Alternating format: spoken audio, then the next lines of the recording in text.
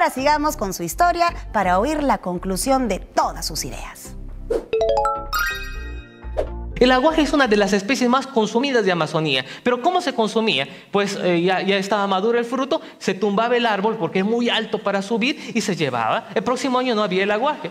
Pero hay técnicas, ahora ya se les ha enseñado y muchas poblaciones utilizan estas técnicas y el, el árbol no se tumba. La araguana, el dragón del Amazonas, una especie muy querida para los acuarios. El padre cuida a los huevos en la boca. Lo que se hacía es atrapar a la especie sacaban los huevos, se exportaba y pues al padre lo comían. Ahora lo que se hace es soltar al individuo y el próximo año hay la posibilidad de poder seguir produciendo esta especie. Entonces los planes de manejo es una excelente opción. Nuestro resultado, hasta la fecha hemos trabajado con más de 80 mil niños en el proceso de educación ambiental. 25 manatíes fueron rescatados y de los cuales 15 ya pudieron retornar a su hábitat natural.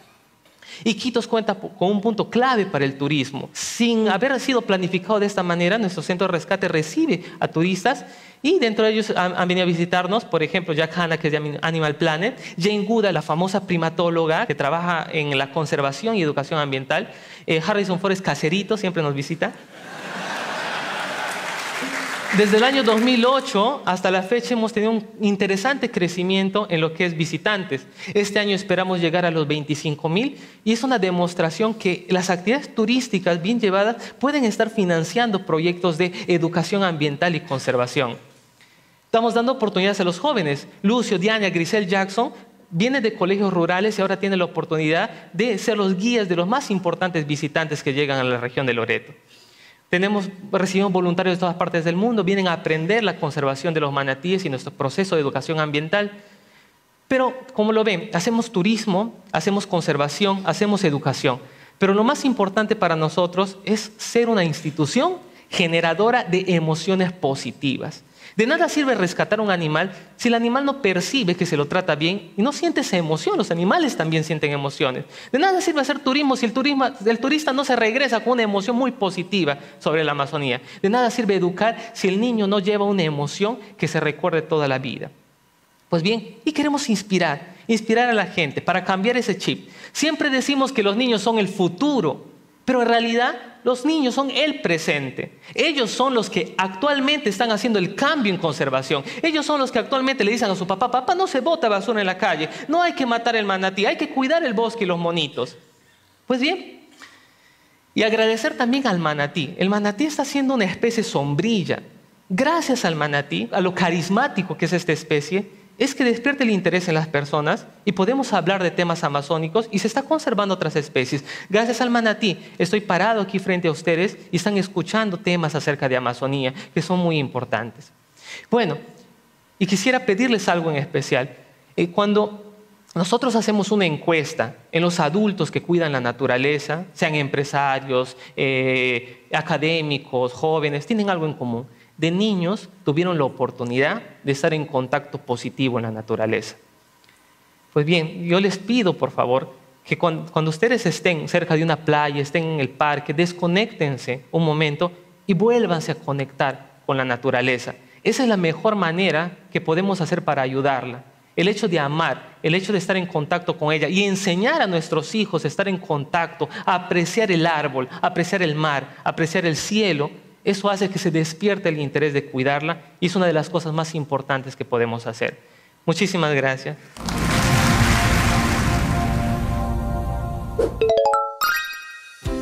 Ya lo saben, no solo son el futuro, también son el presente del mundo. Las acciones que tomes importan y pueden causar un efecto gigante en el mundo. No lo olvides. Pero antes de actuar, siempre hay un tiempo para aprender y estar preparados. Pasemos a una última ronda de preguntas con nuestro invitado especial antes de cerrar el tema. ¿Cómo el turismo puede ser una herramienta de conservación y educación? El turismo, como ustedes saben, es una actividad económica ¿no? que consiste en viajar. ¿no? Y esta, este viaje, este, este conocer el lugar, este conocer a la gente, genera lazos de, de, estrechez entre no solamente el territorio, no solamente las especies como el manatí o los lobos de río, los guacamayos, sino también genera esa relación con el ecosistema a través de su gente. Conocer la cultura, conocer cómo se desarrollan estas personas, nos hace generar recuerdos importantes. Es por eso que eh, el turismo, a través de la generación de estas experiencias, pero también de los ingresos económicos que ayudan a financiar las actividades de conservación, ¿no? Eh, eh, apoya a la conservación. En caso de la educación ambiental, ¿no? el poder generar este tipo de ingresos ha hecho, por ejemplo, que, Javier pueda desarrollar el CREA, que es este centro de rescate de, la Amazonía. ¿no? Lo que ha hecho es poder financiar un programa de educación exitoso dirigido a niños de Iquitos. ¿no? Imagínense esos, esos jóvenes líderes que en los próximos 5 años, 6 años, 10 años van a poder ser los tomadores de decisiones. Quién sabe, tengamos un presidente regional de Iquitos que se preocupe muchísimo más por la Amazonía y la conservación de sus recursos en pro del bienestar de la población local. ¿no? Entonces tendríamos un cambio de actitud. Es por eso que el turismo, a través de, generación de recursos, pero también de generación de experiencias, ¿no? ayuda a la conservación. ¿Cuál es el rol de los jóvenes en el cuidado de la Amazonía y en general de la madre naturaleza? Bueno, uno de los principales roles que deberían tener los jóvenes ahora es poder conocer. Entonces yo los invito a ustedes a conocer sus recursos naturales, su Amazonía, sus áreas protegidas. Y esto se puede conocer de diferentes formas. ¿No? Uno puede hacer mediante turismo, ¿no? puede ir a visitar estas áreas que están alrededor de sus lugares donde residen, o también puede ser a través de los programas de educación ambiental. Claro, todo esto una vez que ya hayamos este, pasado y tengamos los protocolos de, saneamiento necesarios ¿no? para poder visitar estos lugares. Pero una vez que pase todo esto, les, recomendamos que puedan visitarlos ¿no? a través de repente de un programa de educación ambiental, de una visita turística o de un voluntariado. Los voluntariados son herramientas principales para que las personas puedan conocer de primera mano cómo es la gestión de un área natural protegida. Yo he sido un voluntario hace ya más de 20 años Por eso tengo acá mi, sticker de guardaparque, todavía sigo siendo guardaparque voluntario, porque me gusta guardar los parques. Entonces, eh, pueden ustedes ser voluntarios y una vez cuando termine su voluntariado van a entender a fondo cuáles son los problemas, cuáles son las ventajas y cuáles son eh, las necesidades que tiene de conservación estas áreas. Es por eso que cuando ustedes también ya sean profesionales y puedan tomar decisiones. Eh, siempre estén pensando en la importancia de estas áreas. Así que yo les recomiendo de todo corazón que puedan ser voluntarios. ¿no? El Servicio Nacional de Áreas Naturales Protegidas tiene un programa de voluntariado en todas sus áreas naturales del Perú, ¿no? Eh, eh, y, ahí pueden ustedes visitar Paracas, conocer Huascarán, conocer eh, Salinas y Aguada Blanca, en Arequipa, o, el mismo Parque Nacional del Malu, ¿no? O el mismo Pacaya San Miriam, si es que, si es que vives en Iquitos. Esperamos que, que todo este, este, este, comentario de Javier, en base al video de Javier, los hayan ayudado y, les dejo de verdad mucha, mucha, mucha fuerza para que puedan eh, conocer estas áreas protegidas y, y mucha salud en sus casas. Muchas gracias. Espero que el testimonio de Javier les haya prendido la pasión por la naturaleza y también esa chispa de curiosidad. Durante este programa hemos ido descubriendo que existen varios problemas que afectan a la Amazonía y la función que cumplen como pulmones del planeta. Y en consecuencia, esto afecta a todos los seres vivos.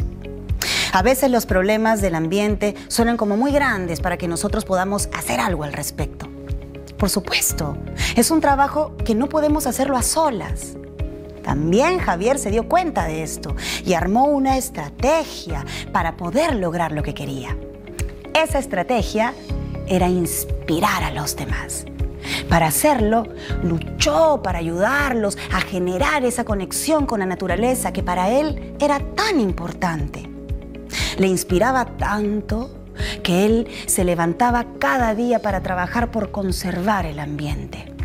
Así como lo logró Javier, nosotros también podemos inspirar en los demás nuestras propias pasiones, sembrando la curiosidad, la inspiración y esa conexión podemos hacer cambios enormes partiendo desde una sola persona, nosotros mismos. Ahora te toca a ti y te invitamos a asumir el siguiente reto. Plantear acciones para la protección de la Amazonía o un ecosistema de tu localidad o región. Según tus posibilidades, puedes compartirla con tu familia, con tus amigos, tu profesor o compartirla en una de las redes sociales. Chicos, eso es todo por hoy. Ahorita termina el programa, pero espero que estas lecciones se queden con nosotros y que las sigamos aplicando día a día. Recuerden que el TEDx Tucuy de Javier y los otros TEDx Tucuy están a disposición con solamente buscarlos en la internet. Nos vemos mañana en una edición más de Aprendo en Casa.